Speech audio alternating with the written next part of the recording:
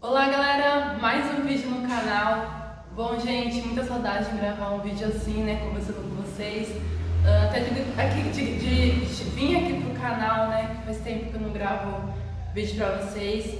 E já aproveitando já essa conversa, né, tô meio assumida por causa, é, trabalhando bastante e também dei uma desanimada, né, com o canal por alguns motivos, mas agora vou fazer o possível para sempre estar para sempre estar presente aqui, né? E sempre estar postando vídeo para vocês, trazendo algo novo. E agora com a moto nova, né? Acho que vai vir uns vídeos bem bacanas aí para vocês, de vários rolês. E tá aqui a Valentina, né, coitada, tá triste. Mas eu passei muitos momentos ótimos, maravilhosos com ela, com a XJ. E, bom, e, e nesse vídeo eu vim falar um pouco mais sobre a XJ, para quem tem alguma dúvida, para quem pensa em comprar uma XJ e para quem também quer saber mais sobre a XJ. bom, gente, é, eu comprei a XJ em 2016, né? Dia 3 de fevereiro de 2016. Foi um dia muito, muito especial para mim, que eu nunca achei que eu poderia ter condições de comprar uma XJ, né? Mas Deus é tão bom em nossas vidas que muda tudo, né? Tipo, de uma hora para outra, é, dá oportunidades pra gente, né? A gente tem que pegar, correr atrás, batalhar, trabalhar bastante, juntar dinheiro para conseguir comprar um bem, né, pra gente. E então, eu peguei a XJ com 11 mil km, agora ela tá com 44 mil, então eu andei bastante com ela, foi, graças a Deus, todos os momentos foram ótimos com ela, ela nunca me deixou na mão. É... Bom, a XJ é uma moto muito boa para quem tá, tipo assim, começando, é... começando assim, para quem tá entrando no, no mundo tipo das motos mais potentes, né? Tipo assim, é uma, uma, uma moto ótima de entrada, né? Pra esse nível. É uma moto tipo assim que ela anda bem, só que é uma moto na mão também, entendeu? Você tem o controle dela. E só que é uma moto assim, né? Tem que tomar cuidado também porque ela é forte. Ela é uma moto de 600 cilindrada, 4 cilindros, né? Tipo, mesmo que a proposta da XJ não é muita velocidade, né? Tipo igual a Hornet. Mas mesmo assim dá pra brincar muito bem com ela. O meu máximo que eu dei com ela foi 225, né? E já é uma velocidade muito boa, né? Tipo, bem considerável. E, e tipo assim, é uma moto que. Bom, gente, voltando. É, então, a XJ é uma moto é, ao meu ver, comparando com as outras motos, né, tipo, nos rolês, é uma moto bem econômica, assim, comparando com as outras motos do mesmo nível, tá? Uma moto bem econômica. E olha que eu uso um, um escape aberto, né, tipo assim, que é o atalho escape, só que eu, eu usava ela com abafador. E, e, tipo assim, mesmo assim, o... Uh, o combustível, tipo, não gastava absurdo, sabe? Quase mesma coisa que o pessoal que tava com uma ponteira normal. Né? Então, quanto a isso, eu nunca tive problema, tipo, de, nossa, gastar muita gasolina. Não, a XJ bem econômica, com escapamento original, então, super tranquilo, né? É... Bom, o pneu original dela, que é o Diablo Rosso 2, nossa, gente, esse pneu dura muito, muito. Pode andar assim, tipo, um, um ano e meio, dois anos, tranquilo que você não vai precisar trocar o pneu, tá? Ele dura bastante mesmo. É, tipo, eu usava a XJ só para só pro final de semana mesmo. Alguns assim, né? Mas eu já fui com ela duas vezes para Santa Catarina, né? Tudo. E eu gostei bastante desse pneu. E o valor dele é um valor bem acessível comparado com, com os outros pneus, né? E ele é muito bom, tanto para curva, para reta, tudo, nunca tive nenhum problema com ele. Porque eu já vi já, já vi já alguns vídeos, né, tipo de pneu estourar, Deus me livre, isso é um perigo, né? Pode até levar uma, uma fatalidade. E, bom, o ronco da XJ não tem igual, né? XJ, o ronco dela é indiscutível, incomparável. Pra mim, é o melhor, é o ronco mais bonito que tem.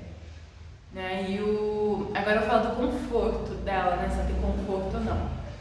Bom, a XJ é uma moto muito confortável, tanto para quem está pilotando quanto para quem está na garupa, tá? Então, a pessoa que está na dúvida, ah, será que a garupa é boa para minha esposa, para minha namorada? Gente, tranquilo, a garupa dela é muito confortável, pode viajar assim, fazer viagem longa, que não vai ter desconforto, né? É, comparando assim com outras motos que para garupa é muito ruim, vou dar um exemplo da Z1000, né, do meu pai. A moto é excelente, para pilotar, uma delícia, tudo. Só que Pra garupa é muito ruim. Sério, tipo, infelizmente Kawasaki é, não pensou nessa parte para as garupas. Mas a XJ, é, o banco dela é muito bom. Uh, para quem está pilotando, a posição de pilotagem é muito boa. E eu até coloquei o, o guidão ox, né? Melhorou muito mais, tipo, com uma posição bem mais confortável, assim, sabe? para viajar, já fui para Santa Catarina, então bem tranquilo, não, você não cansa os braços nem nada. E bom, e a XJ, se você fizer as revisões certinho, troca de óleo, né, tudo certinho, dificilmente você vai ter dor de cabeça, pelo menos eu, tipo, nunca, o único problema que eu tive com ela, que uma época, tipo, eu tava andando, aí, tipo, do nada perdi a força. Aí eu revirei a moto toda, quando fui ver, era só, só tinha, só deu problema no sensor do descanso, apenas isso. Né? Então esse foi o único, tipo, ah, problema que deu nela. Porque de resto nunca me deu nenhum problema, nenhum, nenhum. É, também a XJ eu cuidei muito bem dela, tipo, fiz todas as revisões, tudo certinho né? Tipo, tudo certinho. Nunca deixei passar, tipo, o tempo do, da troca de óleo, troca da. Ah, esqueci agora. Do tipo da água do reservatório, essas coisas. Então, tudo certinho. E a mesma coisa eu vou fazer com ela, né? Com a Ana Lua. Ana Lua e Valentina. Então, a, tipo, a mesma coisa. As minhas motos, assim, eu sempre cuidei muito bem, né? Também com o apoio do meu pai. Porque o bom é que ele sabe mexer com moto, então ele mesmo já troca, né? Então com esse gasto de mão de obra já não tem, né? Tipo, só do, do material mesmo. E, e o bom é isso, né? Que a mão de obra eu já preciso trocar, não preciso gastar com isso. E, gente, agora sobre a, a Red, né? Que essa é a minha nova moto, graças a Deus, consegui comprar. E eu sei que os gastos vão ser maiores, né? Que é uma moto mais potente, tudo. Vai gastar mais gasolina, as peças são mais caras, ah, tipo pastilha, coisa assim, né? Mas tranquilo, graças a Deus. E espero ser tão feliz com ela quanto eu fui com a XJ, só me deu alegria. Foi, tipo, com ela que o canal cresceu mais, eu comecei a gravar quando eu tinha uma 150. Tem vídeos no canal com ela, eu deixei salvo, não apaguei nenhum vídeo. Aí depois eu peguei a XJ, aí comecei a gravar, troquei o nome do canal, o nome do canal era Letícia Motovlog, aí mudei para Letícia da XJ.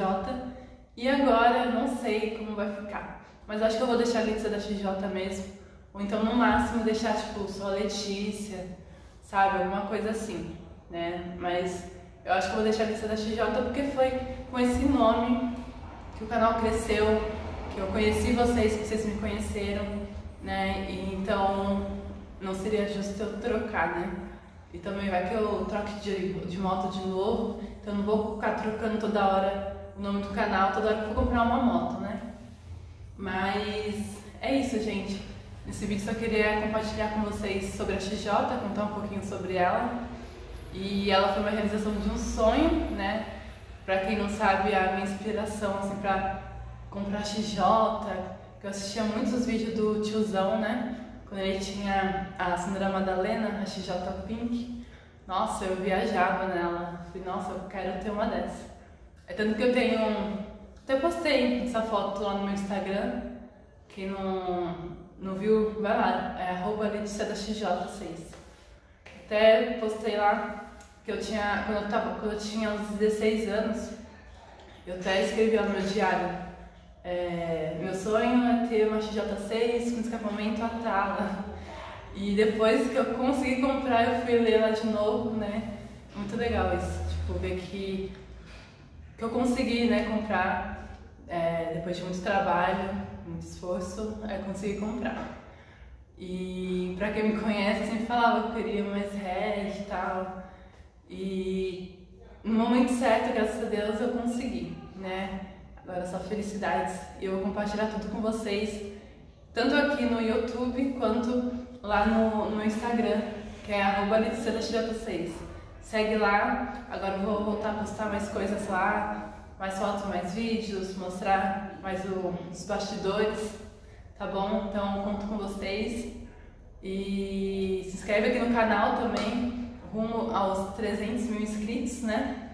É, agora eu vou voltar a postar mais e conto com a ajuda de vocês. Espero que tenham gostado do vídeo. Tamo junto!